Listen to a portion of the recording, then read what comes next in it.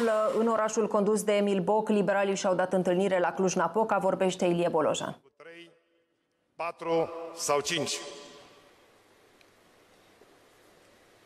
România merită acest lucru. Ca liberal, fac un apel către dumneavoastră.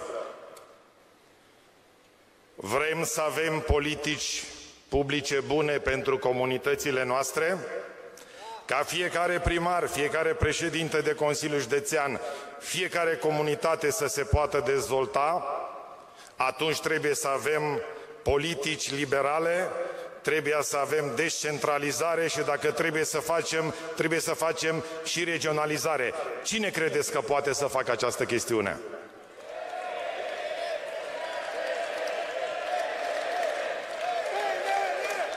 Da.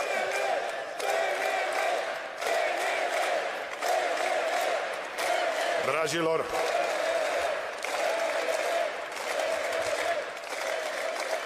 dacă vrem să avem un stat eficient care nu își risipește resursele, dacă dorim să avem o țară de încredere cu reguli bune, dacă dorim ca dezvoltarea să însemne și creștere economică pentru cât mai mulți români prin muncă și prin antreprenoriat, PNL, cu toate slăbiciunile lui, poate să facă aceste lucruri.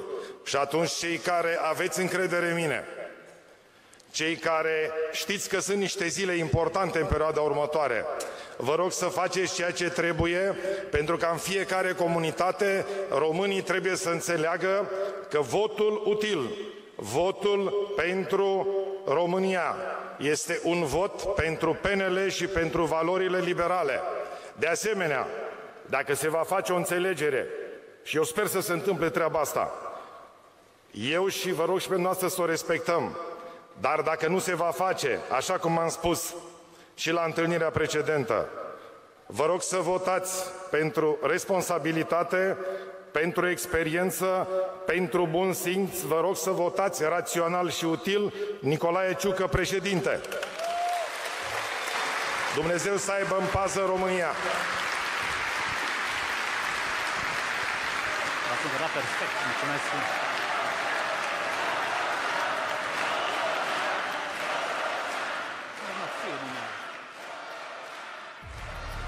Vorbiți cu Clebenciu. Și mi-a zis, bă, Gigi, hai să-l băgăm pe Sibion în turul 2. Aduceți-vă aminte ce s-a întâmplat în țară atunci când Partidul Social Democrat, urma și Partidului Comunist Român, a avut toată puterea. Pe 10 august, în Piața Victoriei, 100.000 de oameni au fost gazați pe nedrept.